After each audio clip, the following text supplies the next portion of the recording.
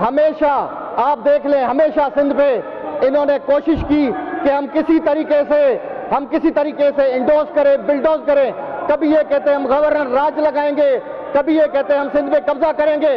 अल्लाह के फजल करम से जो इलेक्शन आती है, जो इलेक्शन आती है, इनको मुँह की खानी पड़ती है। मैं इनको बताता चलूँ, इनके बाप में भी हिम्मत नहीं है पीटीआई में जो कुछ कर सके।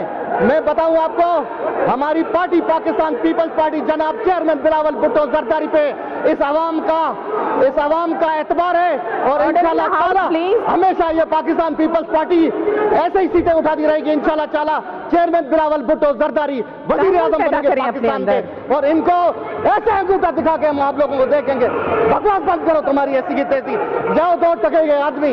सारे दो नंबर डोली दो मिसाइलों पे पता नहीं कहाँ कहाँ से आ गए।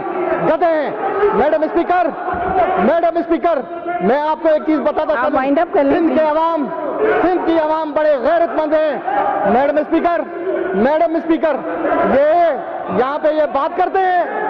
ये बात करते हैं सिंध के लोगों के हकूकों पे डाका डालने वाले पानी पे डाका डालने वाले मैडम स्पीकर मैं आपको एक चीज़ बताऊँ ये कभी नहीं होगा। आने वाले इलेक्शन आने वाले इलेक्शन में इनको पीटीआई वालों को रिजेक्ट किया जाएगा और इंशाल्लाह ताला एक काउंसलर भी इनका नहीं जीत सकेगा।